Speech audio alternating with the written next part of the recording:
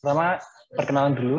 Saya Bima, uh, moderator acara kali ini dan di acara Disko Pekerja ini yang ke seri 5 dan saya dari Gapatma. Gapatma ini adalah sebuah platform belajar demokrasi ekonomi. Itu mungkin teman-teman kebanyakan juga sudah tahu. Nah, kalau tentang Disko Pekerja, apa itu Disko Pekerja? Aku akan share screen ya tentang Disko Pekerja ini apa.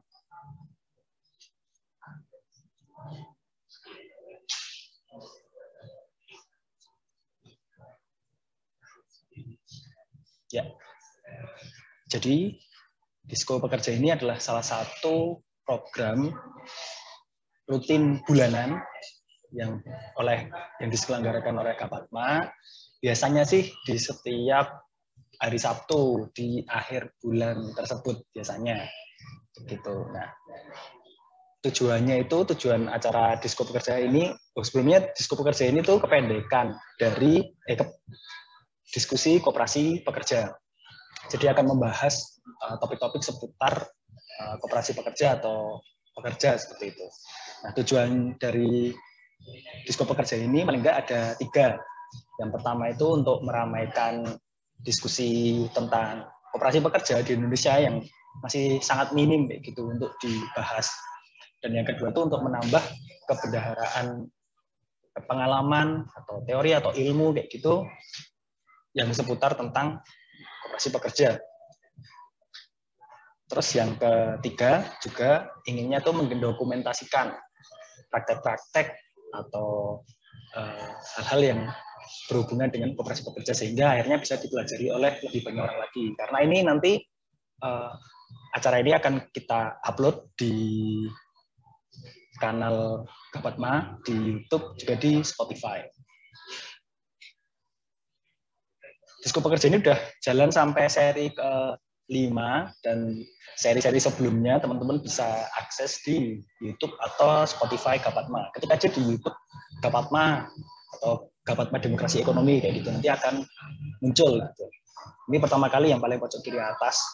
Ini kita mulai dulu, dulu awal ini masih apa ya masih minus satu belum belum satu ini masih minus satu itu di pada waktu hari koperasi tahun kemarin gitu bersama dengan uh, AOA Space itu kedai juga yang ada di Jogja. Selanjutnya yang nomor dua itu di bawahnya itu yang pertama bareng sama Mas Rizky Yosi Pelimpung, editor Indo Progress, gitu bahas tentang model apa ya pengupahan seperti itu.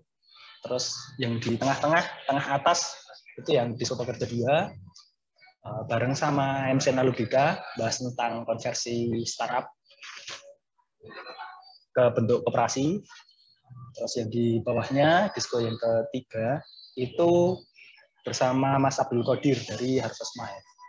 Bahas tentang koperasi dan pertanian dan pemuda. Petani, pemuda, dan koperasi. Terus yang keempat kemarin, bareng kumparan Mas Andreas Eko Yono teman-teman bisa akses lima video ini seri-seri sebelumnya di YouTube dan Spotify. Nah, untuk yang seri kelima ini kan berjudul Kampus Kopi, Kedai Kopi Tanpa Bos. Yang akan dipaparkan oleh Mas Tri Utomo Rubianto atau Mas Ponga. Dia adalah Dewan Kolektif Kampus Kopi. Nah, kita masih nunggu Mas Ponga untuk bisa bergabung dengan kita ya. Halo Mas, udah masuk Mas? Oh, oh oke okay, oke. Okay. Nah, sih udah masuk akhirnya pas banget ya. Ini Mas Ponga alhamdulillah udah bisa masuk bergabung sama kita. Nah, uh, sebelum ke masuk ke materi akan saya sampaikan dulu susunan acara pada sore hari ini itu yang pertama ya ini pembukaan. Yang kedua nanti ada materi dari Mas Konga. Terus yang ketiga ada diskusi dari pertanyaan yang sudah disampaikan lewat form yang kemarin teman-teman isi. Yang keempat, nanti ada diskusi live, maksudnya adalah teman-teman bisa mengajukan pertanyaan nanti melalui Slido, dan nanti akan saya kirimkan tautannya untuk mengajukan pertanyaan dan teman-teman juga bisa nge-vote pertanyaan yang kiranya wah perlu nih untuk segera dijawab kayak gitu dengan Slido. Di sini nanti saya jelaskan gimana cara mengajukan pertanyaannya dengan Slido dan yang terakhir penutup. Oke.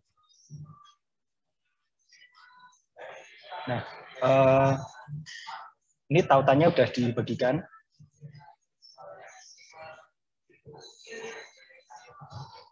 Tautan untuk mengajukan pertanyaannya. Nanti tampilannya kira-kira kayak gini, teman-teman.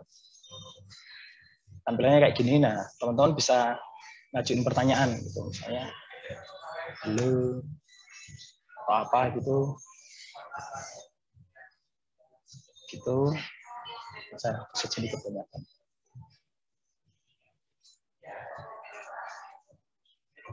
nah teman-teman juga bisa vote misalnya kayak pertanyaan ini uh, baiknya segera dijawab nih bisa di vote jadi nggak cuma teman-teman bisa ngajuin pertanyaan tapi juga bisa voting nanti akan naik gitu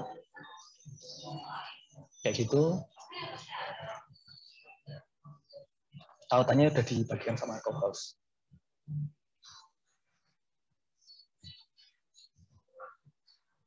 Oke. Ini dari, halo Mas Munga. Halo Mas. Halo, halo. Coba cek halo. suara dulu. Oke. Cek, cek. Wah, agak macet-macet nih. Iya Mas. Cek, cek. Oke. Okay. Cek. Masuk nggak, Mas? Halo? Apa mungkin Masuk, masuk. Tapi agak macet-macet. Masuk, masuk. Oke. Okay. Lalu. Masuk, masuk. Nanti kalau misalnya emang macet-macet banget, eh, apa namanya, dimatiin videonya nggak apa-apa, Mas. Oke, okay, siap, Mas. Nah, tapi ini masih masih oke, okay, masih oke. Okay. Oke, Mas Ponga.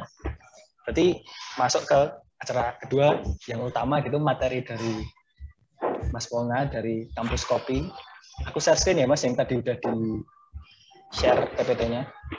Iya, monggo Mas.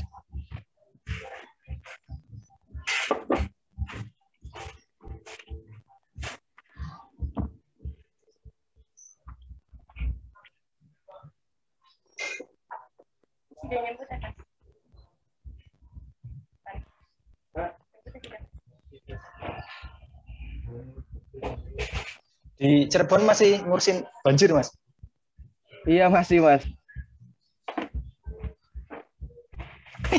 Aduh, semangat banget. Masih, masih banjir terus. Sekarang udah masuk lagi air yang banjir terus ya? ini, banjir susulan. Berarti belum sempat kering sama sekali? Sempat kering, Mas. Minggu kemarin. Sempat kering? Iya. Minggu kemarin ya. Oke, monggo Mas Ponga bisa di mulai. Oke, baik. Sekaligus perkenalan. mulai, Mas. Hmm? Oke.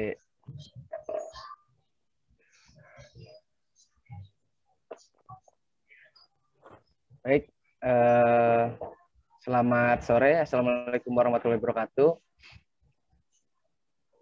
Perkenalkan, uh, nama saya Tri Utomo, tapi teman-teman biasa dipanggil Pong apa manggilnya Ponga ya di kampus kopi sendiri kampus kopi eh, itu kedai kopi tapi memang di kita nggak ada bos ya maksudnya nggak ada atasan atau bawahan jadi pengambilan keputusan itu selalu apa namanya eh, dibahas bersama gitu dibahas bersama bareng teman-teman yang lain juga. Oke, bisa lanjut, Mas. Oke, awal berdirinya sendiri kampus kopi itu didirikan pada 2015 sama empat orang anak muda. Tetap semangat kita, semangat gotong royong dan kebersamaan. Selanjutnya, kita sama-sama punya kebutuhan untuk ruang bertukar informasi dan berdiskusi. Selanjutnya juga kita butuh ruang alternatif untuk belajar tentang kopi dan hal lain. Kebetulan eh, empat orang ini nih anak-anak pertanian, anak-anak pertanian yang eh, jarang banget eh, praktek di kampusnya. Jadi kami bikin ruang alternatif buat praktek sendiri gitu. Selanjutnya yang jelas kita bisa menikmati kopi kita sendiri dan menjadi kopi menjadi kedai kopi yang mengenalkan kopi-kopi lokal. Itu awalnya. Lanjut Mas. Nah, selanjutnya ini tentang pembentukan dewan kolektif sendiri ya. Di kampus kopi eh, dari awalnya empat orang itu eh, masing-masing memiliki kesibukannya sendiri dengan halangannya sendiri. Waktu itu ada beberapa dua orang anggota kita tuh sakit. Dua orang anggota kita sakit terus mulai kita hanya berdua. Waktu itu saya sama saudara Taufik. Cuma lama kelamaan uh, waktu itu masih pakai gerobak mas masih pakai gerobak di depan kampus sama hmm. aktivitas kita juga masih bolak-balik ke kebun ya ke kebun Ciberem ke Dharma hmm. sama ke Gunung Aci hmm. akhirnya kita apa ya uh, rasa butuh gitu tuh ada yang berpartisipasi untuk apa uh, ngelola kedai kita gitu ngelola gerobak seduh waktu itu nah akhirnya jadi kesepakatan bersama oh ya udah kenapa kita nggak ajak orang lain aja? Gitu. Walaupun teman-teman yang dua orang itu yang punya halangan sakit sama sedang skripsi juga akhirnya ya udah mereka sepakat buat narik orang lagi dan pada akhirnya tenaga mereka tuh kita hitung sebagai uh, modal gitu tuh sebagai bentuk kolektif mereka. Nah, dari situlah kita bentuk tuh, ya udah kita namain aja dewan kolektif gitu tuh. Eh, dewan kolektif di sini tuh bukan kayak dewan-dewan yang ada di sana Mas Amrul. bukan apa bukan bukan apa dewan rakyat yang terhormat itu. Kalau ini efek gemuk karena diurusin ini. Nah, lanjut. Lanjut Mas Bim.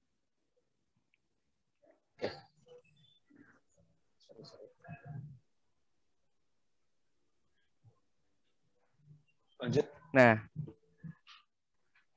di pembentukan dewan kolektif ini sebenarnya untuk kebutuhannya tuh untuk pengambilan keputusan, pengambilan keputusan dalam jangka waktu tertentu sih. Jadi setiap ada kendala ataupun ada program-program yang kita sepakati itu adanya di dewan kolektif itu, dia ada pertemuan gitu. Hmm.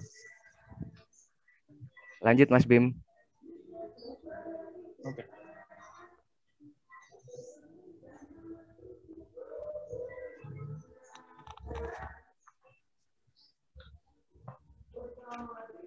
Nah, jadi kampus kopi sendiri kenapa memilih bentuk kolektif atau katakan koperasi lah ya.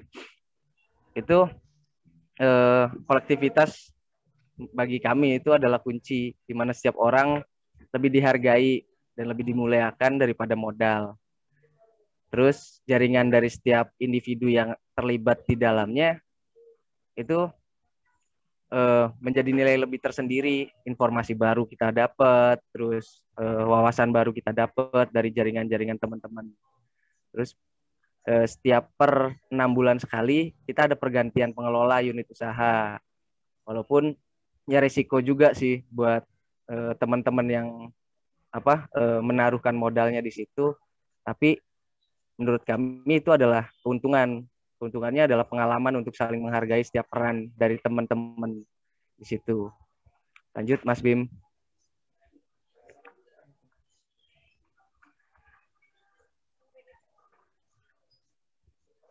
Nah, kalau kedai kopi tanpa bos, kenapa kita sepakat bahwa ya kita nggak ada yang apa uh, paling dominan kita nggak ada yang mendominasi itu kita nggak ada tuntutan atasan pada bawahan itu nggak ada. Selanjutnya inisiatif dan ide kreatif itu lebih diapresiasi timbang kepemilikan modal itu sendiri. Selanjutnya permasalahan setiap individu di kita atau setiap permasalahan pekerja tuh menjadi permasalahan bersama untuk diatasi. Itu Mas Bim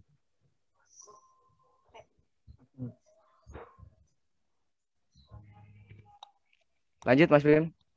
Nah, untuk keuntungan secara bisnisnya se uh, sebetulnya kampus kopi saat ini udah punya beberapa unit-unit usaha ya Mas Bim.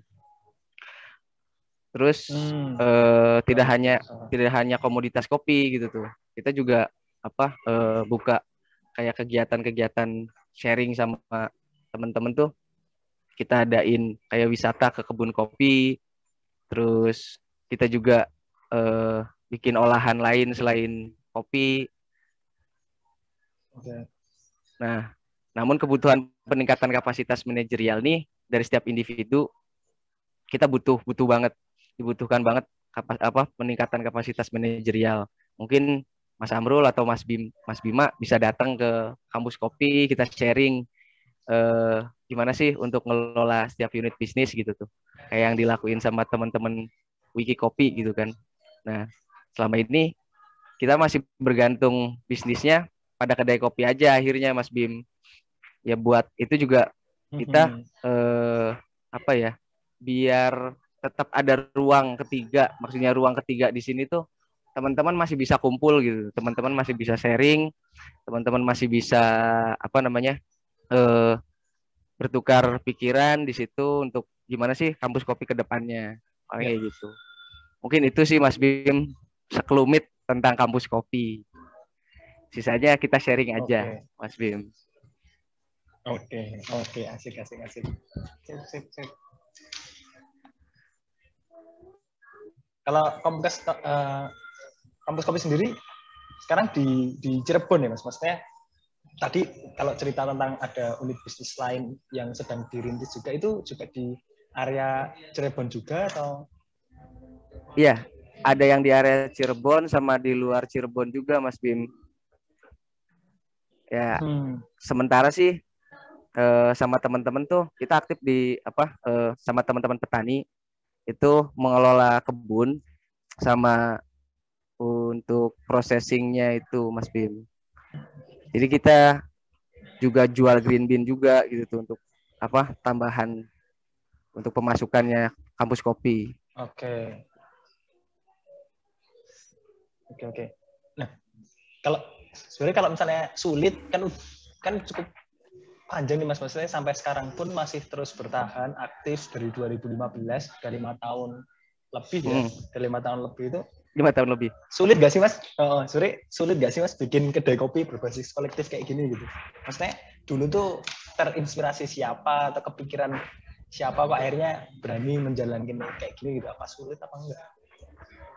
Uh, kalau inspirasi kita sendiri tuh sebenarnya pas waktu lihat video-videonya Mas Pepeng Klinik tuh mas, Pepeng Klinik sama uh -huh. uh, kedatangan tamu dari teman Padang ya sharing mengenai kebun okay. kopi dia di sana gitu. Mm. Nah akhirnya waktu itu kita apa ya keliling keliling-keliling ternyata oh di Kuningan atau di wilayah Ciremai juga banyak nih kedai kopi gitu tuh. Eh kedai kopi. Banyak kebun kopi gitu. Yeah. tapi permasalahannya itu ya permasalahannya balik lagi ke uh, nilai lebih yang didapat sama petani ini nggak sebanding gitu tuh. Nah dari situ kita mulai kepikiran ya udah kenapa kita nggak bikin kolektif aja? Maksudnya kita patungan kita bikin warung kopi itu sebatas untuk kita sampaikan informasi ke masyarakat kalau di Ciremai itu ada kebun kopi gitu tuh. Di Ciremai juga punya kopi-kopi yang eh, nggak uh, kalah gitu tuh. Nah dari situ sambil hmm. kita sharing soal itu ke teman-teman pengunjung yang datang ke kedai kopi kita juga dapat uh, feedback dari mereka feedbacknya apa mereka nggak banyak ngasih hmm. saran tuh kayak coba mas di prosesnya kayak gini coba mas di apa namanya hmm. uh, dibentuk kayak modelan koperasi di level hulu gitu tuh nah dari situ kita coba datang ke petani kita sharing ke petani untuk pengelolaan kebun sampai pasca panennya itu kayak gimana biar pasar menerima produk kita gitu tuh terutama produk petaninya hmm. nah kendala okay. kendala Berarti... kolektif uh-huh. kendala kendala kolektif balik lagi ke waktu ya mas sebenarnya investasi teman-teman kampus kopi itu bukan eh, bukan melulu uang, bukan melulu uang, tapi investasinya tuh lebih ke waktu gitu tuh. Kita butuh banyak waktu, kita butuh banyak proses buat datang ke kebun, kita sharing sama Hmm. petani, kita nginep ke petani, kita dengerin keluh kesah mereka. Sebenarnya apa sih yang menjadi kendala petani buat dapetin nilai lebih tuh gitu. Gimana sih kendala mereka Hmm. buat ningkatin kualitas kopinya tuh eh, seperti apa sih gitu tuh. Nah, sebenarnya investasinya di situ. Kalau untuk materi sendiri eh, kita akhirnya baru kepikiran sekarang-sekarang, oh ternyata kita butuh tambahan modal nih. Ya kita bisa patungan lagi sama teman-teman yang lain. Gitu. Di sini juga ada saudara Topik Oke. nih, Berarti malah salah satu Hmm. pendiri juga nih. Mas Bim barangkali Mas Topik bisa ikut Oke. nambahin. Iya, halo Mas Taufik. Boleh say hi? Oh, masih malu-malu sepertinya. Iya. Berarti malah di awal itu yang pertama is berarti apa? Ini juga banyak nih teman-teman tanyakan lebih ke arah modalnya gimana kalau punya barang-barang terus seperti apa pembagiannya kayak gitu tuh malah yang di awal tuh dengan tenaga pun sebenarnya tenaga dan pikiran ya udah Iya. bisa berjalan gitu malah baru sekarang-sekarang eh ternyata kita butuh modal, Butuh modal. juga itu malah baru Iya. sekarang ya sudah lima tahun berjalan kayak gitu Iya. ya menarik juga sih oke oke patungan tenaga dan pikiran berarti ya Sebenarnya awal nih Mas. di kan Oh ya, gimana, lanjut gimana? lanjut lanjut dulu lanjut. Tadi aja mas cerita gimana awal Awal tuh kita malah patungan nggak banyak sebenarnya. Sama teman-teman tuh cuma patungan 250 ribuan. 250 ribuan, empat orang. Nah, waktu itu dapat eh, apa namanya eh, pinjaman sih, pinjaman alat dari teman kedai kopi yang ada di Cirebon. Buat ya udah, nih tak pinjemin Hmm. grinder waktu itu grinder sama grinder kan lumayan mahal. Grinder sama apa beberapa biji kopi gitu tuh. Akhirnya kita ya udah kita buka ya dari di- apa ya tambahan dari pemasukan itu sih sebenarnya kita golang lagi gitu. Ma, ya sama teman-teman yang lain juga situ. yang empat orang ini iya muter dari situ. Ini sama teman-teman empat orang itu tuh udah kenapa kita nggak tambahin lagi aja modalnya. Sepakatan tuh berapaan? Ya kita waktu salahnya kita waktu itu tuh ini menjadi pelajaran sebenarnya. Kesalahan kita waktu itu tuh nggak ngukur, nggak ngitung sebenarnya modal kebutuhan kita tuh berapa sih buat bikin kedai kopi gitu tuh. Untuk kedainya. Tapi eh, waktu itu ya jalan aja gitu tuh. Oh, kita butuh alat ini, butuh alat ini. Ada uang berapa? Waktu itu eh, saya sama Sumadi sama Arif sama Taufik tuh ya udah kita patungan 2.500 ewang. 2.500 ewang apa? Ewang akhirnya berjalan tuh kita bisa bikin gerobak sama eh, alat-alat kopi lainnya gitu. Sama simpenan juga buat beli panen eh, dari petani gitu.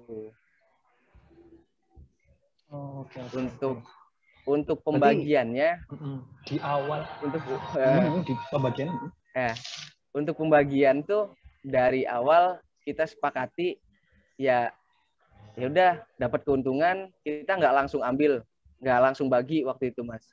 Dan sampai sekarang sih sebenarnya nggak langsung bagi. Jadi keuntungan itu kita putar lagi buat eh, kebutuhan kedai. Balik lagi ke kebutuhan kedai. Toh kita mikirnya teman-teman pemilik ini yang di awal itu udah eh, nikmatin kopi aja itu udah jadi nilai lebih gitu tuh. Itu udah jadi apa ya keuntungan buat kita. Kalau kita hitung-hitung ngopi di kedai orang itu satu gelas bisa 15.000 ribu. Sedangkan waktu itu ya udah toh teman-teman sendiri yang nikmatin ya ya udah keuntungan yang sekarang kita balikin lagi ke kedai gitu tuh. Selanjutnya ya masih aja muter kayak gitu. Hmm, itu sih mas oke memang mengutamakan benefit untuk menikmati kopinya itu ya dan benefit Iya. benefit lainnya yang tadi udah diceritain daripada si profitnya itu lagi ya si selisih harga Iya. dari margin penjualan ya lebih iya untuk benefitnya. Nah, kalau sebenarnya kalau akhirnya di bulan keberapa atau di tahun keberapa Mas bisa dapat manfaat ekonomi dari berjalannya kampus kopi ini? Uh, waktu itu tuh eh sampai sekarang kita belum dapat benefit ya, maksudnya belum ngerasain manfaat ekonomi, Mas. Karena 2017 hmm. itu kita ditawarin tempat, tawarin tempat. Nah, keuntungan okay. yang sebelumnya itu kita gunakan untuk renovasi tempat itu kita apa namanya beres tempat apa segala macem ternyata waktu itu bukan sewa tapi di, dipinjemin lah kita dipinjemin mm-hmm.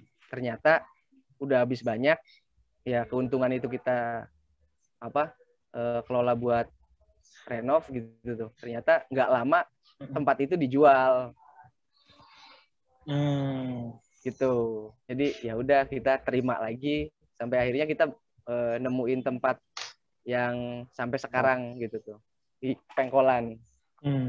di Pecilon itu. Uh, itu berarti pindah tahun berapa itu mas? 2000... 2017 mas. 17 ya. Iya. Oh. Ya berarti kalau teman-teman yang kayak misalnya uh, akhirnya jadi penyeduh atau brewer di situ atau akhirnya hmm. ber apa ya aktif di situ itu tetap dapat benefit secara ekonomi atau seperti apa? Nah, kalau yang nyeduh, maksudnya kok ya. bisa tetap jalan gitu? Kalau yang nyeduh, gitu. kalau yang nyeduh itu sebenarnya bukan sukarela, Mas. Kita kesepakatan juga gitu tuh. Uh, ya, ya mereka uh, hitungannya kan ya memang di bawah UMR, di bawah di bawah rata-rata banget lah. Waktu itu kita hmm. sepakati ya udah per harinya itu kita 30.000 sama dapat makan gitu. Hmm. Toh mereka juga tahu kita sama-sama tahu kita terbuka mengenai apa namanya keuangan kita gitu kan. Bahwa, keuangan. Kita transparan aja sama mereka bahwa ya udah uh, kalau dapatnya lebih dari target yang kita targetin ya kita mengusahakan apa namanya ya sesuai standar gitu tuh mas untuk penghasilannya hmm. tapi ya selama ini karena kapasitas kedai kita juga kecil ya kita apa ya sama-sama eh, ngebangun aja gitu tuh akhirnya kenapa ya ya kenapa sampai bertahan selama ini juga teman-teman eh, hmm. merasakan benefitnya bukan secara apa namanya eh, materi tapi di luar materi gitu tuh teman-teman dapat pengalaman teman-teman dapat ilmu teman-teman juga dapat eh, jaringan juga gitu tuh dari situ sih mas Oke. Itu yang malah membuat akhirnya bertahan sampai sekarang ya? Iya. Kalau mungkin materi hmm. banyak teman-teman yang uh, anggota kampus kopi juga sekarang ada yang ngebar di kedai lain juga gitu. Mereka ngisi di apa part time di kedai lain juga gitu. Tapi untuk hmm. pengalaman sama apa ya? Uh, ada yang mereka nggak dapat gitu tuh di kedai yang mereka kerja gitu tuh. Kalau di kampus kopi mungkin eh, beberapa orang ada yang apa ya aktivis lah katakan aktivis atau mereka konsen gitu tuh konsen ke permasalahan-permasalahan lingkungan ke permasalahan eh, budaya gitu tuh akhirnya di situ teman-teman sering dapat masukan-masukan ataupun ya suntikan-suntikan oh hidup lu nggak melulu tentang uang gitu tuh. Kita juga coba mikirin hmm. orang lain dong gitu tuh. Kita coba mikirin kalau misalkan kita nyeduh kopi, kopi yang kita dapet nih seenggaknya petani yang ngelolanya tuh sejahtera ataupun ya minimal kepikiran kayak gimana sih kehidupan mereka gitu. Itu sih Mas. Hmm. Oke, okay. itu yang akhirnya terpenuhi ya di di kampus kopi yeah. teman-teman terpenuhi sisi itunya ya. Yeah. Okay. Nah, kalau dari praktek kampus kopi yang sekarang gitu ya, yang modelnya kolektif hmm. gitu, katakanlah ya kooperasi gitu, gitu dikelola secara bersama-sama. Nah ini uh, tanggapan dari kedai-kedai di sekitar kampus kopi kayak gimana? Dan apakah ada yang mau mencoba mereplikasi, apa malah sinis kayak gimana? Mas, uh, mereka nggak ada yang sinis sih mas. Terus kalau untuk hmm. mencoba replikasi belum ada belum ada yang mau buat merelakan kedainya tuh dimilikin sama banyak orang tuh belum ada. Tapi Hmm. rata-rata mereka Hmm. support, maksudnya support tuh ya apa ya? Kayak terinspirasi bikin kegiatan-kegiatan. Ayo sih main lagi ke kebun gitu tuh. Ayo sih ajarin kita buat apa namanya? eh datang ke kebun biar petani nih apa namanya eh, bisa petik merah atau seg- segalanya lah gitu tuh itu malah teman-teman datang ke kita gitu buat sharing Hmm. Berarti jadi hubnya juga teman-teman kedai di sekitar iya tempat iya tempat banyak teman-teman yang kumpul yang sharing di situ Kalau yang aktif di kampus kopi sekarang berapa orang? Mas? yang aktif di kampus kopi untuk apa penyeduh ya mas yang nyeduh di kampus kopi dua orang nah Hmm. sisanya tuh teman-teman eh, tetap kayak fokus di roastery, fokus di kebun gitu. Kayak Mas Taufik ini Mas Taufik dia fokus di kebun juga Mas buat proses. di kebun. Mm-mm. Sama yang lainnya Mas Ponga sekarang di mana? Aku kebetulan sekarang lagi fokus di Jati Barang Mas. Jadi Di Jati Barang tapi eh, nggak Hmm. bisa lepas sebenarnya nggak bisa lepas buat apa mikirin ini kampus kopi mau kayak gimana gitu tuh. Toh Nah. apa ya eh, kampus kopi tuh kayak jadi tempat buat eksperimen gitu loh mas eksperimen Hmm. sistem Heeh. kita mau kayak gimana Hmm. sih gitu tuh soalnya bentuk-bentuk usaha kan sekarang makin banyak ya mas Eh, kita bisa macam-macam. kayak bentuknya koperasi iya ada yang apa pakai investasi apa segala macem nah itu jadi eksperimen kita sih sebenarnya Mhm. Gitu Di Jati Barang ini kedai juga ya, Mas? ya dijadi barang kedai juga cuma karena jaraknya jauh jadi ya katakan apa ya ya kita replikasinya kampus kopi sih di Jati Barang di Indramayu itu Oh, replikasinya kampus kopi ya di Jati Barang Iya. gitu ya. di Jati Barang Ya. gitu Mainannya Mas Ponga, Mas Taufik tadi di, di kebun. Kalau ngomongin kebun, Mas, berarti awalnya kampus kopi emang pengen ngelola kebun kopi di Ceremai ya, yang eh, robusta itu ya. Nah, itu kan eh, apa ya? Istilahnya nanti pengelolaannya jadi berkesinambungan kan. Yang Iya. Nah, sebenarnya yang dibangun kampus kopi itu seperti apa sih? Ibaratnya kayak model yang berkesinambungan antara hulu hilir ini tadi yang akhirnya bisa kok banyak kedai kopi yang di sekitar situ juga malah ngajakin atau bahkan merujuk ke kampus kopi itu sebenarnya sistem seperti apa yang di, dibangun kayak gitu dengan hulu dan hilirnya itu. Nah, gini mas, kalau sempat kita kepikiran, akhirnya kita inisiasi ngebentuk kayak prakoperasi. Jadi prakoperasi kopi ini eh, anggotanya tuh petani kopi, eh, kedai kopi, sama penikmat kopi gitu tuh. Kenapa kita pros apa ya prosumen katakan prosumen ya produsen juga ya sebagai konsumen juga gitu tuh. Karena kalau bukan teman-teman yang ada di sekitaran apa Ciremai ataupun yang dekat dengan produsen, terutama petani kopi, mau siapa lagi yang mau nikmatin kopinya gitu tuh. Hmm. Nah makanya kita gandeng teman-teman kedai yang lain, ayo dong eh, ikut ke prakoperasi buat eh, support produk-produk sekitar sendiri gitu gitu, produk-produk kopi lokal. Artinya pas teman-teman penikmat kopi sama kedai kopi ini bergabung, mereka kan dapat kopinya, Mas. Dan kita Ya. terbuka buat eh, sharing sama petani tuh ada timbal balik, Pak. Ini kurangnya ini loh, ini kurangnya kayak gini. Jadi petani juga akhirnya ya dia memperbaiki kualitas gitu tuh untuk bisa diterima sama teman-teman anggota kedai kopi itu sama penikmat kopi itu. Oke. Hmm. Nah itu sekarang proses per, apa bikin prakoperasi yang akhirnya bisa dimiliki petani terus konsumen dan dan uh, kedai kopi itu sampai mana mas atau sekarang hasilnya apa atau sedang berproses apa? Halo? Ya. Halo.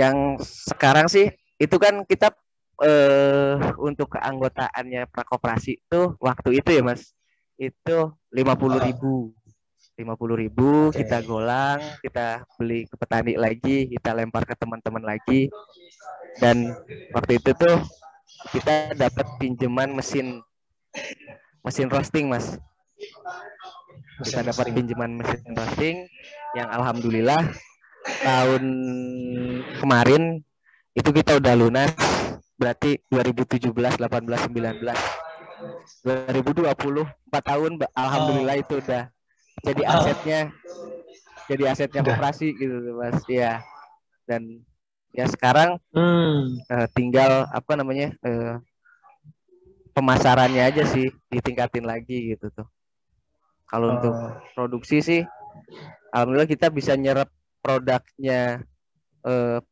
petani kopi yang ada di Ciberem, Gunung Aci, sama Dharma gitu. Hmm. Itu selain kita jual roast bean.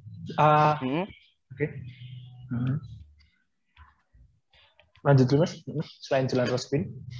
Ya selain jualan bean juga ya kita jual green bean-nya karena waktu itu awal-awal sih kita sepakat buat ya udah kita nggak ngejual green bean karena kuantitasnya waktu itu ya mas 2017 tuh belum mencukupi. Jadi satu kali panen tuh waktu itu cuma eh, empat bulan dan stok udah habis gitu tuh. Itu roast bean.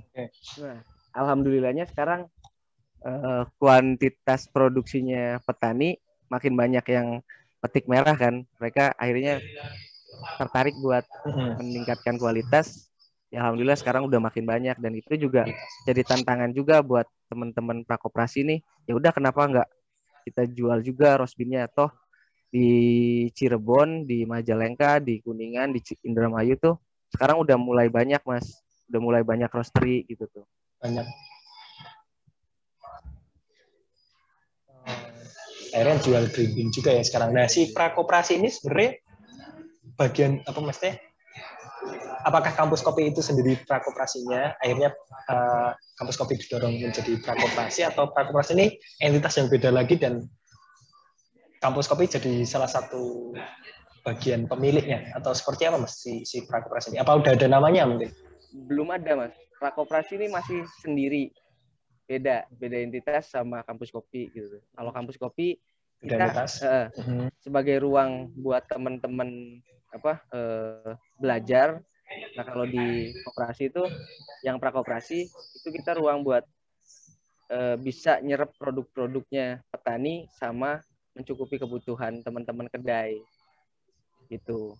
Hmm, oke. Okay. Berarti anggotanya dari berbagai anggotanya siapa aja mas pasti? Sekarang? Eh, sekarang tuh anggotanya prakoperasi Prakoperasi apa kampus kopi nih, Mas? Ya. Yang prakoperasi itu. Yang prakoperasi kopi itu mm-hmm, anggotanya udah gitu. ada sekitar 39 orangan, Mas. Oh, itu ya terdiri dari terdiri dari petaninya sendiri. Petani itu petaninya sendiri ada eh, lima orang itu dari beda wilayah. Oke. Okay. Terus wow. kedai kopi, kedai kopi sama teman-teman penikmat kopi mas nah banyaknya tuh yang oh. penikmat kopi gitu tuh anggotanya ya walaupun okay. balik lagi yang aktif yang nyerap produknya dari prakoperasi ini kedai-kedai kopi. Kedai kopi. Ya. Hmm, gitu ya. Jadi ada satu entitas yang dimiliki barang-barang hmm. untuk proses kopinya ya. Ya. Asik. Tapi belum dikasih nama ini, Mas. belum, belum, belum dikasih nama. Ada udah banyak orang yang terlibat ya. oh. Ini start kapan ini, Mas? Apa, Mas? Start kapan itu si prakoperasi kopinya ini yang oh. jadi Start sih udah dari 2017 akhir Desember. Oh, oke.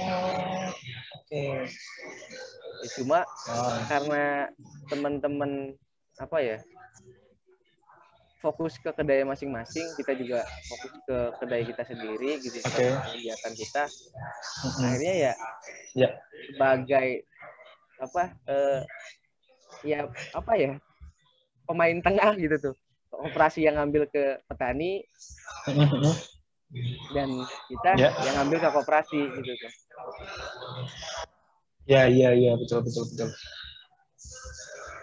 Ibaratnya eh, apa ya, middleman-nya atau ya eh, yang tengah ini dimiliki bersama-sama kan? Dimiliki bersama-sama. Hmm, wow, keren sekali lah. Hmm. Oke, oke, oke. Kembali ke bahas pengorganisasian kampus kopi, Mas.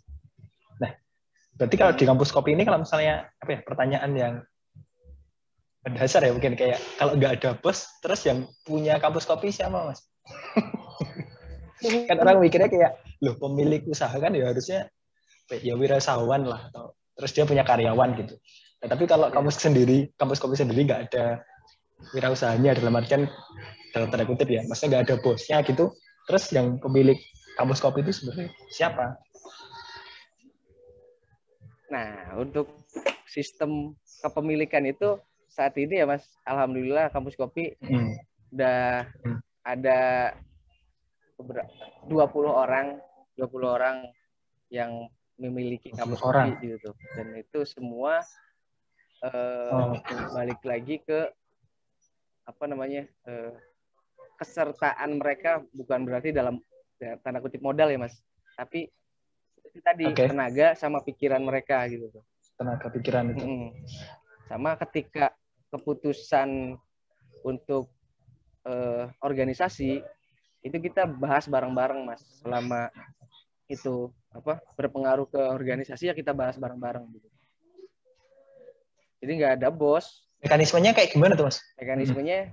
Jadi Mekanismenya biar nggak chaos gitu misalnya kayak semua pengen mau oh, gimana? karena Ada keputusan yang perlu diambil cepat gitu.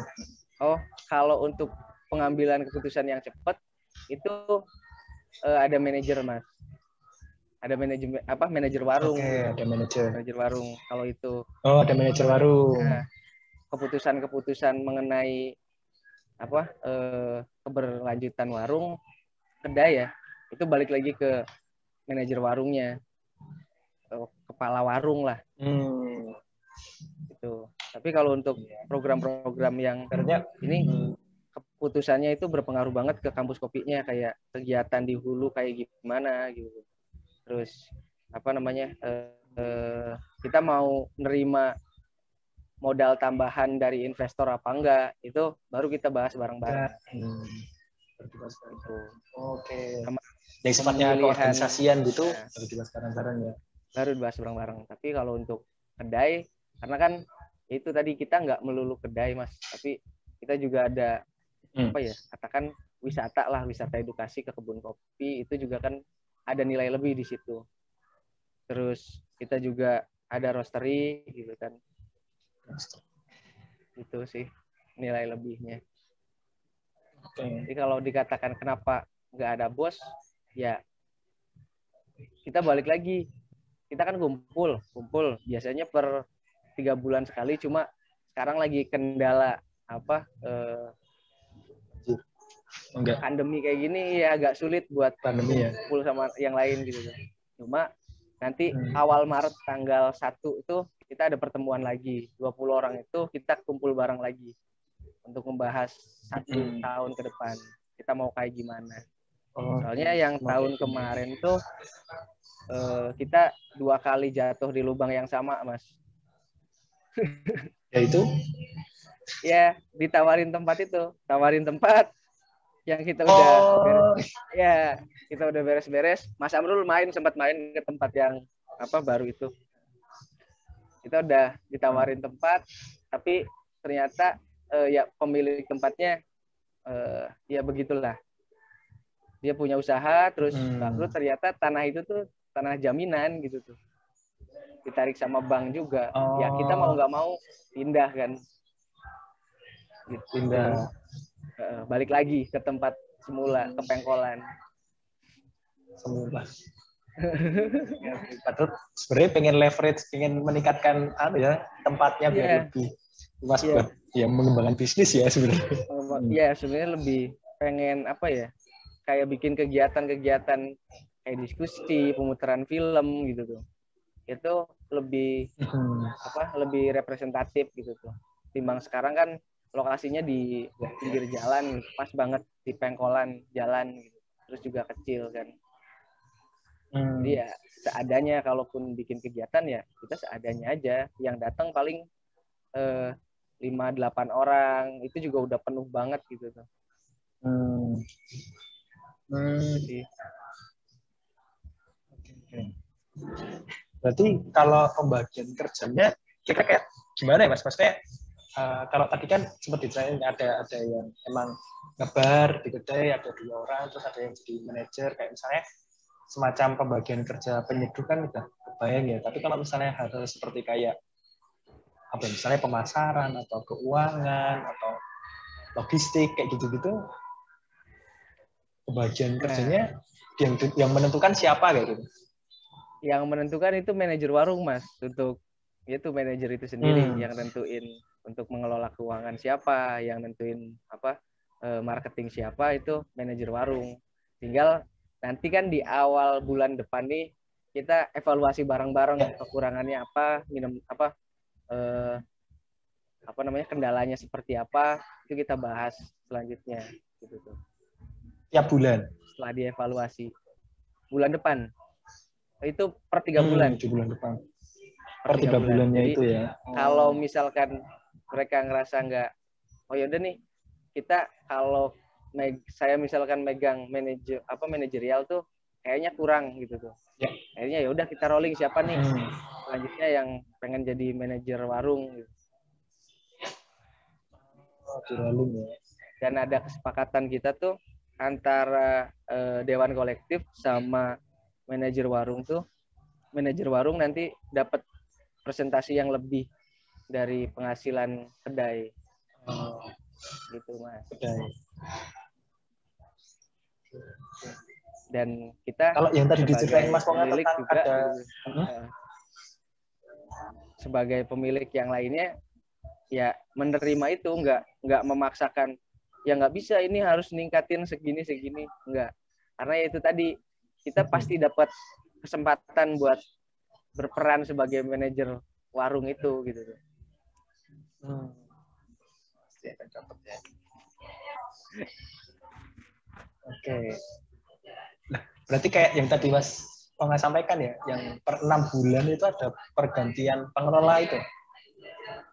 Beda Iya. lagi sama itu. ada Oh, itu Iya, ya ada, berarti ya. itu Oh, iya akhirnya Mm-mm. akan akan kesampaian juga akhirnya jadi jadi yang perlu Iya. mengelola kampus kopi. Oke, oke.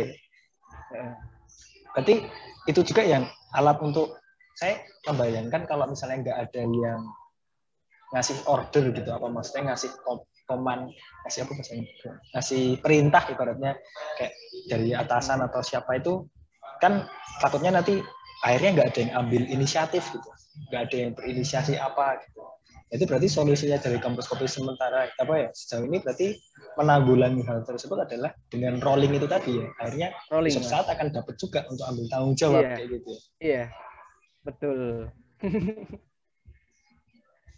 Apa ada apa namanya cara yang pernah di, dicoba mas di, di kampus kopi maksudnya di suatu titik kok nggak ada yang aktif lagi kayak gitu. Akhirnya pada tunggu-tungguan lah, gitu. nggak mau ambil inisiatif. Gitu. Apakah ada pengalaman kayak gitu apa enggak sih? eh selama ini sih enggak sih mas jadi setiap kali ada kendala Hmm. teman-teman tuh pasti share di grup gitu tuh Oh, gitu sih gitu. Oh. Eh, dari awal kita udah sepakat kalau ketika ada permasalahan di kampus kopi teman-teman tuh pasti minimal bantuin entah itu lewat ide atau tenaga gitu tuh Langsung gas sih. Balik rumah awal, balik Iya. rumah kampus kopi. ya calling banget. Oke, oke. Kalau dari lima tahun berjalan ini pernah, maksudnya dapat kerugian mas? baik kerugian secara apa ya pelaksanaan secara kolektif ini tuh sebenarnya merugikan nggak sih gitu? Tapi juga kerugian secara materi gitu secara sejauh lima tahun ini gitu. Adakah sejauh sejauh lima tahun ini sih kalau untuk apa namanya uh, usaha ya mas? Untuk usaha kedai sendiri itu nggak ada kerugian kalau uh, kita misalkan nggak apa ya nggak buru-buru ngambil keputusan kayak yang tadi tuh. Ada tawaran tempat kita waktu itu okay. dan yang kemarin kesalahan kita tuh uh, gampang percaya hmm. jadi kita udah beres-beres gitu tuh udah beres-beres udah renov apa segala macam ternyata zong okay. tapi zong. ya masih ada ya pindah ya untungnya teman-teman ya dari segi keuangan teman-teman masih megang mas masih ada gitu tuh khasnya masih bisa untuk uh, warung kopi ini tetap jalan. Oke oke.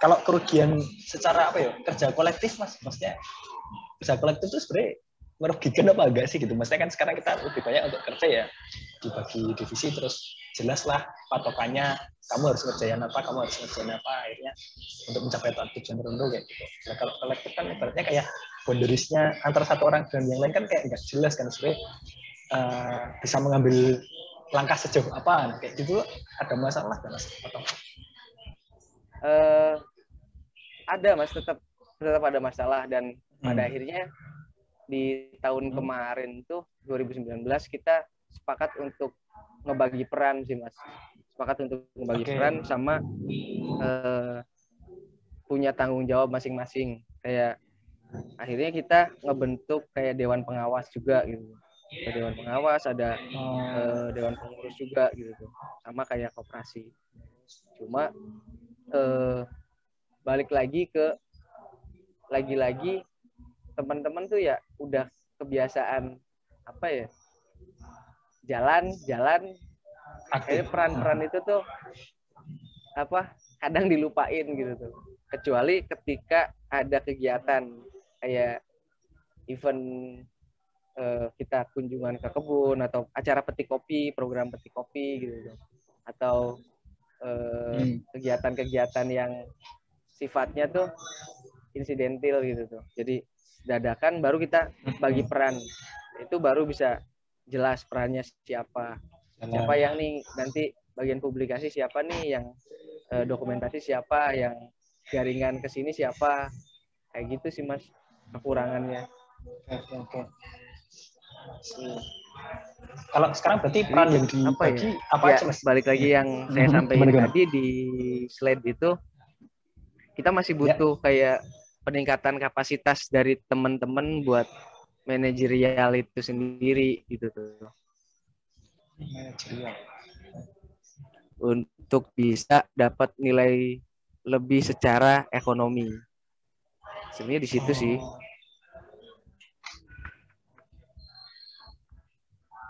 mengapa yang dilihat akhirnya kayak wah kayaknya ini emang kemampuan manajerial nih yang perlu perlu ditingkatkan secara bersama-sama nih gitu. Maksudnya uh, kenapa akhirnya jawabannya ke situ tuh? Latar belakang apa yang menyebabkan menurut Mas Ponga kok kayaknya ini nih yang perlu ditingkatkan? Bukan menurutku sih, itu menurut teman-teman juga hmm. gitu. Teman-teman.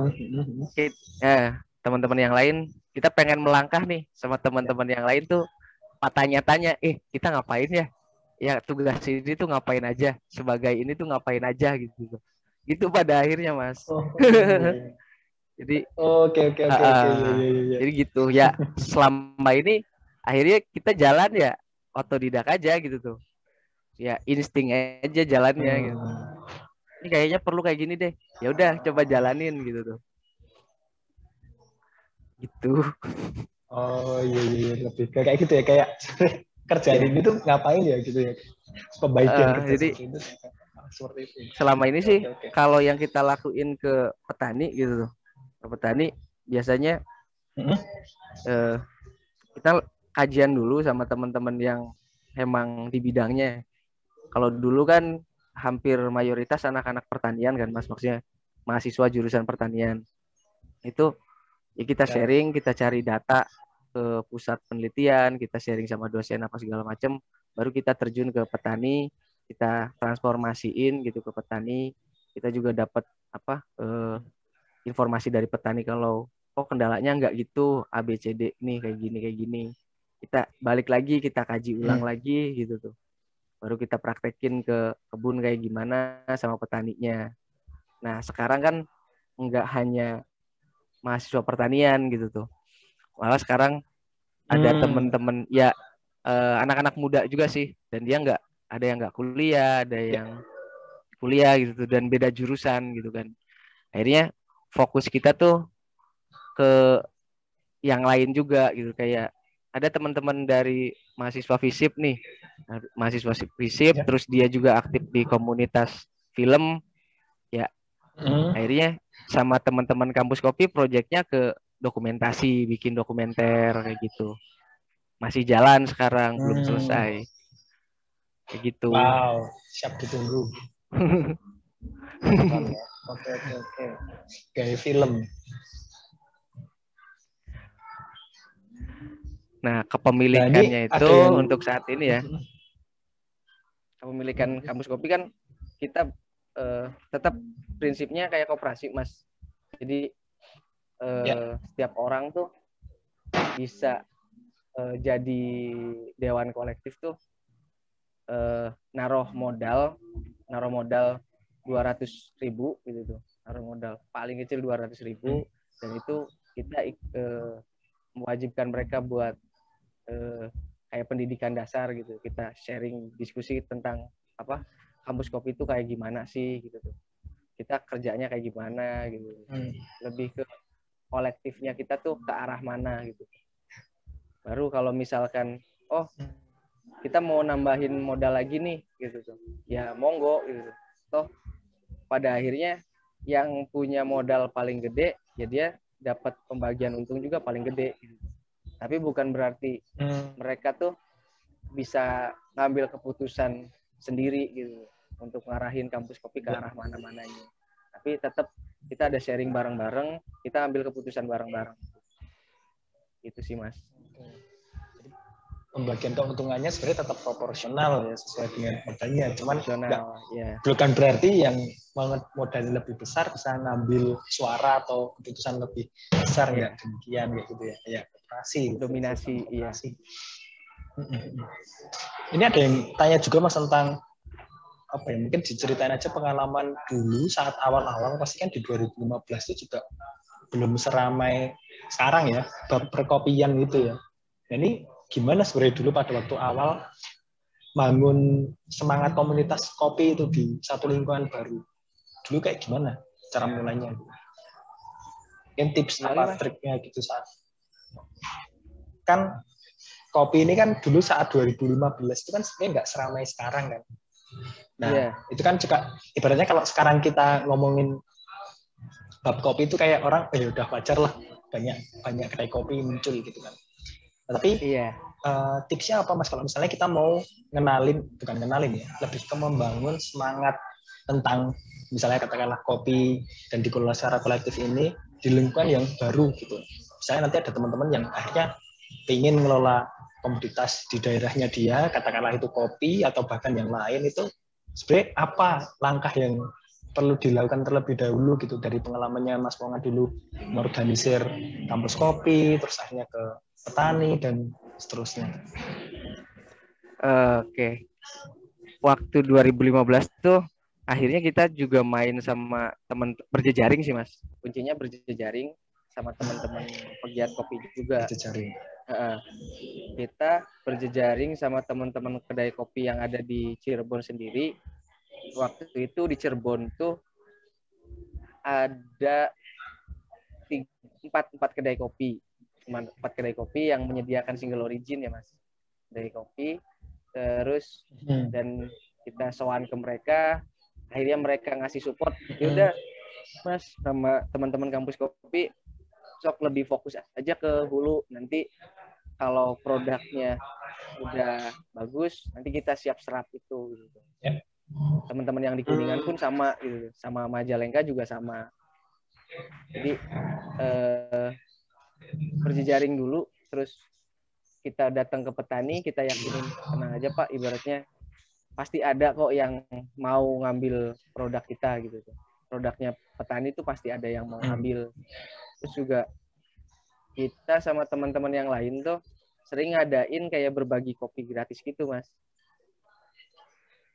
Hmm, berbagi kopi gratis. Oke. halo aduh sinyal Halo, halo. Lanjut. Ah. Halo, halo. halo masuk ya mas Ya, ya, ya. Masuk. Lanjut tadi tentang berbagi kopi Cek, cek. gratis itu. ah Cek. Yo, yo.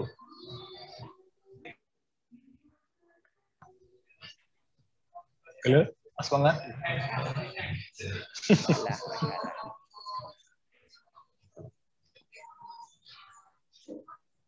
Masih masuk nggak mas suaranya mas Masih, masuk, masuk, masuk, masuk kok. Oke. Nah, kita juga sama teman-teman kedai kopi yang lain nggak cuma wilayah tiga yang kita bangun jaringannya. Kita waktu Hmm. itu main juga ke Bandung, ke teman-teman Jogja gitu untuk selain apa namanya sharing ya kita coba kenalin bahwa kita nih di wilayah tiga terutama Ciremai itu kita punya produk gitu tuh. Ya. Di situ sih sampai akhirnya saat ini ya makin banyak pemuda atau anak-anak muda yang di dekat sama hulu, sama petani, sama kebun, ya mereka bekerja sendiri gitu. Dia ngembangin sendiri. Hmm. Cuma karena kita di awal udah komitmen dengan desa yang awal gitu kayak Ciberem, Gunung Aci, sama Dharma, ya kita tetap fokus di situ dulu.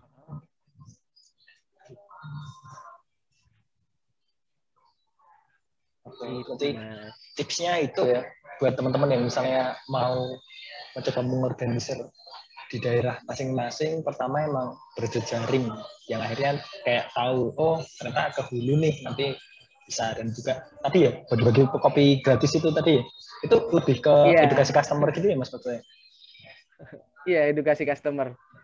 Dan 2015 ya Hmm, hmm. eh, berat mas masih di wah kopi Berat ya? banget gitu tuh iya cuma perlahan aja sih kita nggak maksain apa ya nggak maksain bahwa kopi tuh nggak harus pakai gula gitu tuh kopi masih bisa dinikmatin pakai susu kopi masih bisa dinikmatin pakai gula aren yang penting ya produknya petani itu bisa terserap sih arahnya ke sana Hmm. untuk Arahnya kualitas sana. kayak eh, kayak apa namanya eh, ini single origin Dharma rasanya muncul kayak ada asam apa asam apa gitu ya itu Hmm. kita segmenting akhirnya kita apa namanya ya kita, kita tentuin pasarnya ke arah mana. Kalau untuk masyarakat umum waktu itu ya kita masih pakai Vietnam drip itu jadi idaman banget mas. Hmm, iya iya. Vietnam trip jadi idaman banget ya. Vietnam drip masih jadi idaman. Karena ditambah ada kasus itu kan. Terus Jessica. Iya ya pada waktu itu Jessica ya. Iya. Tapi malah dari situ tuh orang bisa kenal kopi gitu tuh. Mulai dikurangin susunya mulai "Ya udah nggak usah pakai susu. Hmm. mulai metode apa mulai coba metode yang lain gitu. Cuma ya nggak nggak jadi masalah pada akhirnya buat kedai kopi sih buat kita. Karena yang paling penting yaitu tadi serapan kita ke apa petani bisa tetap continue tujuannya ke sana Hmm, tujuannya itu ya kita berjalan. Nah, kalau beberapa apa ya yang tak perhatikan ya kan orang banyak ngembangin tuh sebenarnya arabica mas jenis kopi itu ya. Maksudnya kopi arabica gitu. Nah, ini di Ciremai yang dikembangin di Cirebon ini malah robusta. Gitu. Apakah ada alasan tertentu atau memang di sana lebih cocok robusta atau apa mas? Kenapa akhirnya memilih itu gitu? Apakah di sana udah dari awal itu? Di Cirema itu untuk ketinggian 1.200 ke atas itu udah jadi area konservasi mas. Hmm.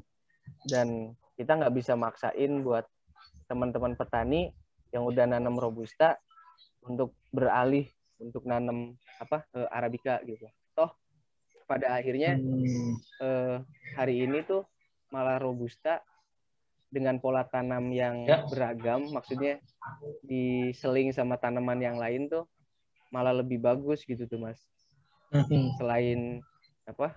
Oh. Ya, selain jadi agroforestry, maksudnya pola tanamnya tuh ya nanam kopi, tapi Iya. gimana caranya kebun kopi ini kayak hutan gitu tuh. Kayak juga sama aneka Hmm. eh, komoditas yang lain. Nggak kebalik, eh, tadinya hutan dirubah jadi kebun kopi. Gitu.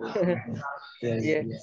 Soalnya ya kalau maksain kehendak ya ya udah kita pu- ada orang punya uang terus dia mampu buat ngelobi eh, salah satu taman nasional dirubah jadi kebun kopi dampaknya kan ke saya juga mas yang rumahnya di hilir Iya ya. kayak, kayak sekarang hujan kenceng apa segala macam ya memang sih intensitas hujannya kenceng tapi ada sebab selain hujan deras itu gitu tuh yang akhirnya ke hilir juga banjir. Waktu itu sempat kita sharing sama pas waktu petik kopi pas waktu petik kopi sharing sama eh, warga desa di Ciberem sama kepala desanya juga ya udah gimana kalau kita bersinergi antara hulu sama hilir ya nggak apa-apa pak selama di hulu Hmm. di teman-teman petani masih merawat lingkungan maksudnya nggak ngerusak lingkungan kita di hilir juga pasti Ya. bakal tetap support produknya petani gitu tuh Hmm, iya iya iya iya. iya. itu Oh. Akhirnya konsep maksudnya agroforestry itu tadi jadi kesadaran bersama gitu ya, yang dibangun.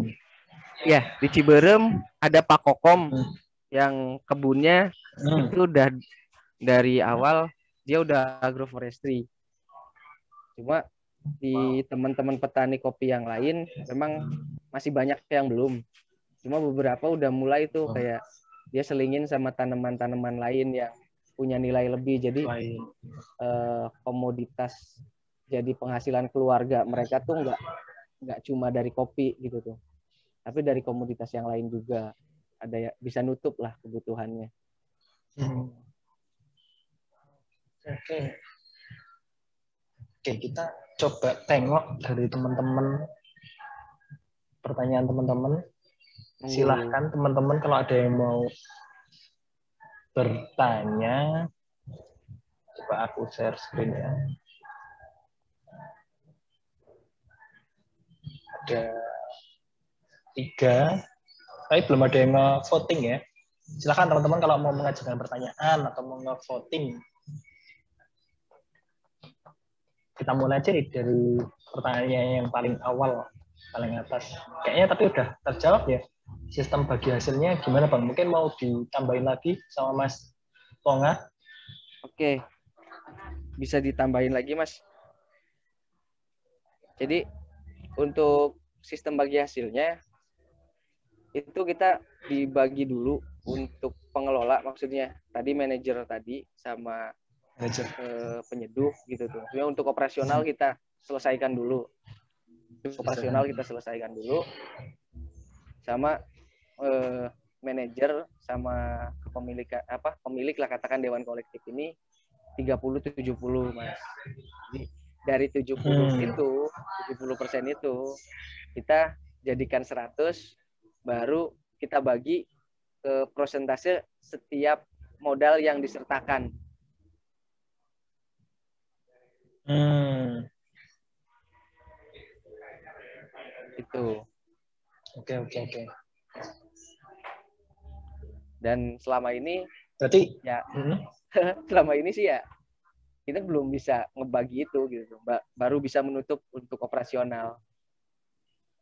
dan teman-teman yang lain ya Oh, oke. nggak masalah nggak mempermasalahkan itu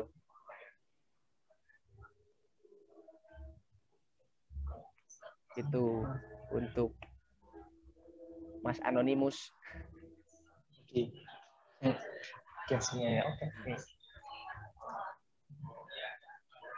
Nah ini sebenarnya tadi di awal udah disampaikan sih kampus kopi ini ada di mana? Ada di Cirebon. Gitu teman-teman kalau mau main bisa ada cek IG-nya Cirebon juga ke sana. Hmm. Ya.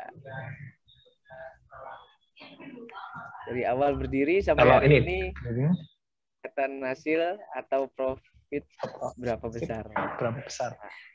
Dari modal jadi. ini sebenarnya tadi Mas Topik harusnya yang jawab cuma nggak tahu masih ada nggak Hmm. Halo Mas Taufik. oh masih ada cuma nggak mau nongol nih orang Hmm. Iya bagian Mau nongol nggak Mas? eh, Halo. bagian keuangan untuk Ceritalah Mas. eh, berapa berapanya itu ada di saudara bewok Silahkan Mas mangga Mas Topik Taufik. Mas Taufik. Oh ini Taufikur Rahman ya? iya Halo. Ya. Halo Mas. Hai hai. mangga Gimana, Mas? bisa ban- bisa bantu ini jawab pertanyaan dari awal nih dari awal berdiri sampai hari ini peningkatan hasil atau profit berapa besar Eh, gimana ya? Bingung. Sebenarnya kalau secara profit ya, Mas. Kalau secara profit kita lumayan. Karena emang kalau eh, prinsip di bisnis kan tahu sendiri lah teman-teman. Perkiraan kan sekitar 50 sampai 60% persen itu keuntungan.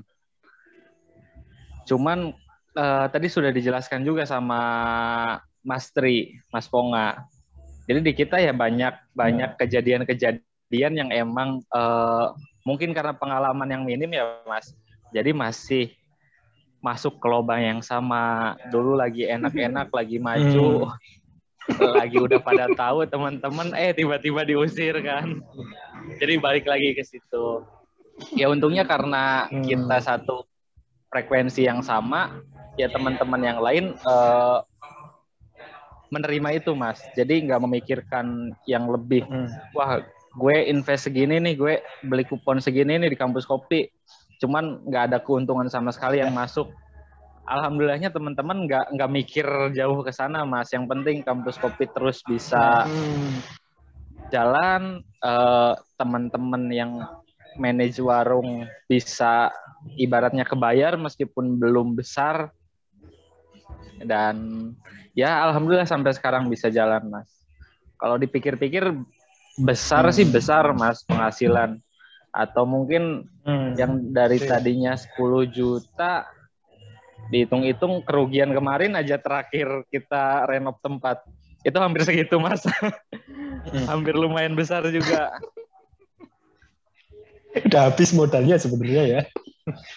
Ya kalau dibilang habis alhamdulillah Masih masih, bisa jalan lagi masih ada Masih ada. cuman Masih ada, kan? keuntungan yang harusnya buat dibagi teman-teman yang lain dibagi ini habis lagi buat uh, renov warung Iya. yang baru lagi gitu yang baru lagi. Oke oke oke. Ah, biasalah Oke oke. gitu mas Ya kalau biasalah pandemi ini juga ngaruh banget mas. wah ngaruh banget mas ngaruh banget Ngaruh banget ya. ngaruh Hmm. Sulit juga ya. Betul, betul. Oke. Terima kasih Mas Taufik. Atau Mas Taufik mau nambahin beberapa hal yang tadi udah disampaikan Mas Ponga? Boleh Mas? Eh, udah cukup mas itu kata Mas Amrul ngaku cek kan udah dapat mesin aku apa bu oh iya. Ya gitulah mas. Roasting ya. mesin roasting. Hmm, asik, asik, asik. Kalau Mas Ponga tadi sekarang aktif di JTB, kedai kedai, kedai, kedai baru lagi ya. Kalau Mas Taufik di di Hulu ngurusin apa mas? Ngeproses pasca panen atau ngerosting uh, kebetulan di saya sekarang fokus di kuningan mas ini kedainya bos legend coffee sekaligus uh, kedai juga roasting juga teman-teman juga akhirnya alhamdulillah kampus kopi bisa sewa lahan mas ada tiga tempat yang kita sewa jadi mungkin uh, oh. pikirnya kita nggak cukup nih uang untuk beli lahan. Cuman ada ya, petani yang lahan. mau jual tadinya. Cuman daripada nanti petani okay. itu nggak punya lagi lahan, akhirnya nego-nego-nego, uh. akhirnya disewain ke kita, Mas. Cuman kecil sih. Ketika Cuma, lahan yang disewain ya. Iya. ceritain, Pik, ceritain, Pik. Oh. Itu. jadi awalnya kita ngambil dari Dharma kan Mas, Arabica Dharma. Ya. Cuman setelah beberapa tahun jalan, ada satu lahan yang emang biasanya kita beli, itu si petaninya lagi punya kebutuhan. Akhirnya mau dijual tuh. Hmm. Pas mau dijual, itu murah juga, lumayan murah, sekitar berapa, 15 apa 20. Cuman akhirnya, wah kalau dijual sayang juga kan, petani kasihan nggak bisa hmm punya lahan lagi ke depannya. Akhirnya uh, kita sepakat buat sewa lima tahun, Mas. Kita sewa lima oh. tahun. Itu udah ada kopinya, jadi kita tinggal panen. Cuman uh, si panen. petani menyerahkan ke kita gimana pengolahannya, gimana cara pemupukannya, pemangkasannya yaitu sekaligus buat uh, tempat belajar kita juga kan teman-teman kampus kopi. Jadi eksperimen hmm. lah silahan hmm. itu. Alhamdulillah dibebasin sama petani. Asal jangan di oh, tebang gitu. Iya iya benar. Butuh juga ya. Wow, malah gitu ya. Wow, bagus banget. Jadi kebutuhan petani. Ya ada di tiga lokasi sekarang mas berarti kalau yang, yang model demikian yang sewa itu Dharma mas cuman hmm. ya uh, karena kita belajar bareng mas sama petani Ciberem Gunung Aci ataupun yeah. Dharma ya kita uh, sistemnya lewat satu pintu mas jadi petani atau hmm. teman-teman yang lain nyari kopi Dharma Sari ataupun Gunung Aci gitu ya susah karena emang adanya uh, kesepakatan sama petaninya ya kopi itu buat kampus kopi atau uh, kampus kalau kopi. yang sinyal, sinyal. ya ya sempat kemarin juga banyak teman-teman hmm. yang nanyain ini petaninya dari mana? Petaninya dari mana? Ya emang kita punya kebun sendiri ya. ibaratnya yang Dharma itu. Yang lainnya juga dari awal kita yeah, yeah. terus sharing terus ngobrol sama petaninya kurangnya apa kurangnya apa.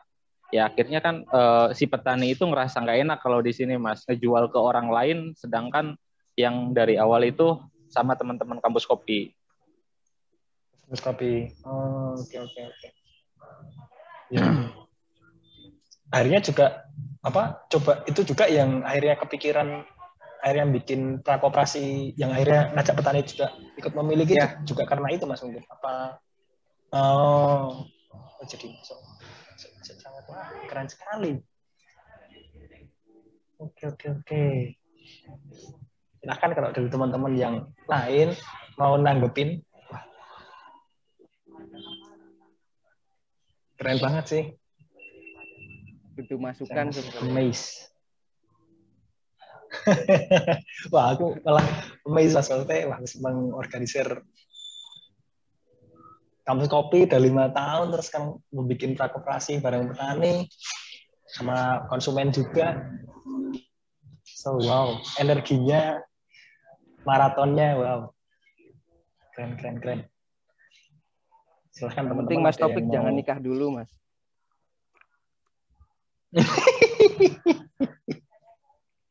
kok ngono? Ya pik. Yang lain belum ada pertanyaan. Atau mau tanggapan juga boleh. Kalau enggak ini Mas ada yang tanya juga nih. Gimana cara gabungnya kampus kopi? Eh, maksudnya mau gabung ke kampus kopi bisa nggak sih? Atau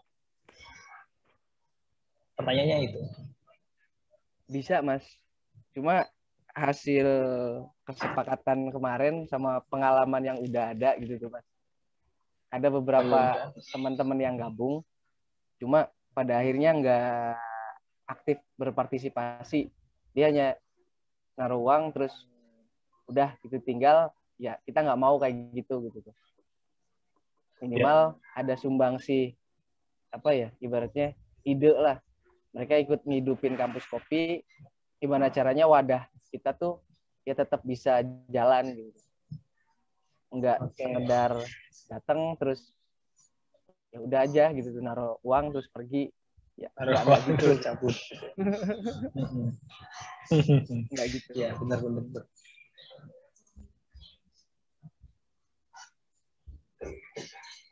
dan itu juga masih dirumusin sih mas untuk uh, sistem penerimaan kayak gitu. Belum apa ya? Oh ya masih dirumusin juga ya. Gimana uh, nih kalau ada yang mau? Uh, uh, masih. Nah ini malah ada pertanyaan yang menarik. Dari anonimus lagi anonimus lagi. Nah mungkin ini mas malahan.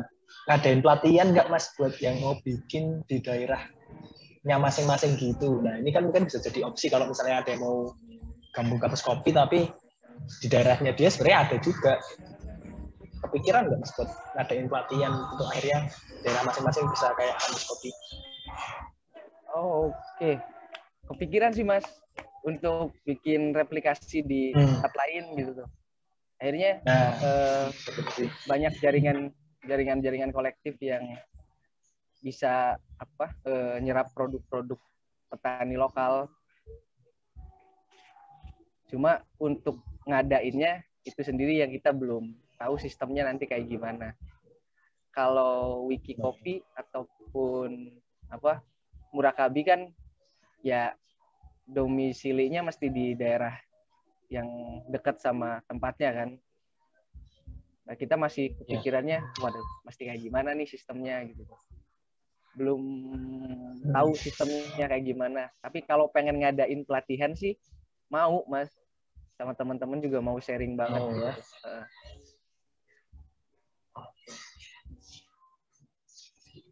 Oke.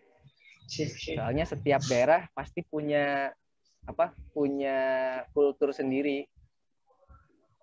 Hmm. Kalau wilayah tiga Cirebon ya kulturnya kayak gini gitu. Banyak apa eh, nggak terlalu musingin sama harus kayak gimana gimana. Hmm. Yang penting kita satu visi, satu frekuensi. Oh, kita bisa ngenalin produk-produk petani lokal. Ya kita jalan ya sama eh, kegiatan-kegiatan uh, kopi ataupun kegiatan di luar kopi gitu tuh. Tapi malah seringnya kampus kopi tuh terlibat di kegiatan yang bukan kopi banget gitu, Mas. Hmm, contoh, contoh. Ya, contohnya kayak kegiatan-kegiatan diskusi mengenai film, mengenai musik, mengenai lingkungan hidup. Seringnya di situ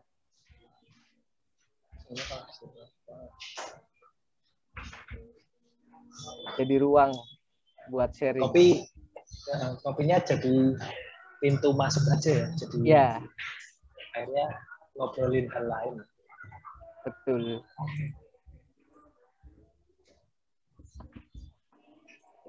Oke.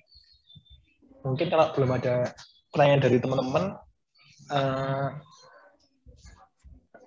pertanyaan terakhir lah ke Mas Bonga atau Mas Taufik boleh tentang rencana ke depan kampus kopi yang terdekat lah sama yang uh, agak jauh gitu yang terjauh. Bukan yang terjauh ya agak jauh.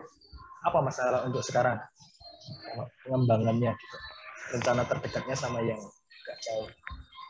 Rencana dari awal kampus kopi itu pengen punya tempat kayak ya bikin kampus sendiri sih mas. Wow, bikin kampus sendiri ya. Uh, nah kalau yang terdekat nanti di awal Maret ini kita mau ada pertemuan lagi buat uh, perencanaan setahun ke depan. Sip. Wah, bikin kampus beneran ya, kampus kopi beneran, guys. Kita bikin kampus.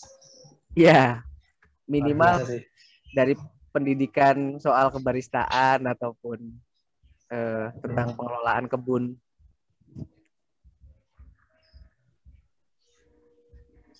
Ship lah itu. Pendidikan luar biasa. Ini oke. Okay. Nanggepin dong. Oh, boleh silahkan, silahkan Mas Amrul, silahkan. Sebenarnya kampus kopi itu progresif sekali sih dari gerakan, terus gerakan sosialnya, gerakan ekonominya, maupun gerakan ke petani. Coba sekali-sekali main ke Cirebon, terus ke tempatnya Pak Kokom nanti diajak sama Mas Ponga, terus main ke kampus kopinya sendiri. Itu kita akan bertemu dengan sekelompok anak muda yang penuh semangat untuk mengubah negeri ini loh. Beneran. Saya cukup sering ke sana gitu. dan selalu senang dengan teman-teman kampus kopi yang penuh semangat menyadap menyadap semua hal yang pengen diketahui, dicerna. Menarik, kampus kopi ini sangat menarik. Gitu aja sih recharge energi ya. Yeah. Ya, recharge energi ya kayak ngecas energi. Emang orang Jadi Mas Amrul kapan Siap, main lagi nih? Emang orangnya kayak gitu kan, kalem, rendah gitu. Itu kalem gitu ya. Uh, uh. itu cuma tampilannya, tapi gerakannya ngeri. Itu. Oh. Bahaya itu. Aduh, paperi. Perlu diagendakan untuk recharge energi ke kampus kopi.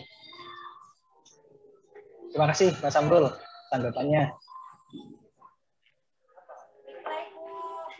Oke.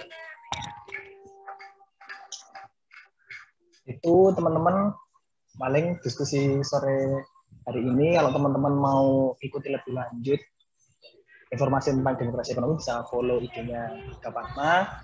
Terus bisa juga subscribe YouTube-nya atau juga ikutin Spotify-nya kalau teman-teman juga ada yang mau turut aktif nih jadi apa namanya calon anggota koperasi Kapatma Kapatma juga lagi kita dorong untuk jadi koperasi yang dimiliki konten konten creator apa ya? Kontributor sorry kontributor konsumen sama pekerjanya ini lagi kita susun. Nah kita rutin buat ngadain pertemuan ya seminggu sekali atau kadang dua minggu sekali di hari Selasa itu teman-teman calon anggota yang mau turut bergabung di Dapatma. Nah, teman-teman bisa ikut gabung. Pertamanya mulai eh apa namanya? Bisa gabung lewat Discord dulu. Nanti di Discord teman-teman bisa ikut chatnya, room apa ya, channelnya untuk calon anggota. Itu kalau yang pengen terlibat lebih jauh lagi di Dapatma. Kalau enggak bisa minimal follow Instagram kita. Kita aktifnya sementara ini di Instagram Gitu. Oke, kalau dari Mas Ponga mungkin ada apa ya eh, pesan-pesan uh, terakhir sebelum kita tutup acaranya? Oke, Mas. Kalau dari saya oh. untuk teman-teman kampus kopi ataupun teman-teman yang lain jangan takut untuk ya. berkolektif sih, Mas. Maksudnya jangan takut jangan takut buat kita melibatkan diri ke uh, apa ya kegiatan-kegiatan demokrasi ekonomi gitu. Walaupun uh, apa ya yang kita dapetin bukan materi atau profit. Tapi di balik itu tuh ada nilai lebih yang lain gitu. Selain jaringan kita juga dapat hmm. wawasan lebih gitu dari situ. Jadi nggak melulu diukur sama uang yang kita dapat. Di situ sih mas. Terima kasih banyak Mas Wonga penutupnya. Terima kasih juga teman-teman yang udah hadir di sore hari ini. Sampai berjumpa kembali di bulan depan atau di acara Gapatma selanjutnya. Siap. Silahkan kalau ada yang mau live duluan, boleh. Tapi saya akan menunggu dulu di room. Oke, makasih ya Mas. Yo, thank you Mas Wonga. Yo. Mantap.